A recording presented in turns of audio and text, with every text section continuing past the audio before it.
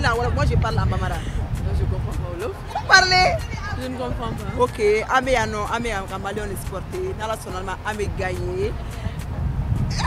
Vous parlez en Wolof Victoire au stade. Eh! On va gagner. Nous sommes des guerriers. Voilà. On va lever les deux défi. Inch'Allah. C'est malien. Hein. Blanc joue, blanc gagne. Blanc ne oh! perd jamais. Nous, quand même, on va partir faire la brûle là-bas. Il faut que notre équipe malienne, il n'a qu'à jouer bien aujourd'hui, gagner. On veut la victoire aujourd'hui. Je connais toutes les joueurs là-bas. Ce sont des joueurs de qualité. Ils savent jouer au basket. Moi, quand même, je l'encourage. Comme c'est notre première fois de venir, donc j'encourage notre équipe de bien jouer, de se battre jusqu'au fond. On est venu supporter nos frères parce que c'est le Mali.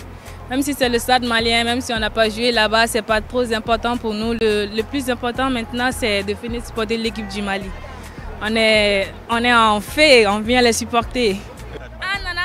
Ah, Nana Mali supporter. Allez, les stades. Blanc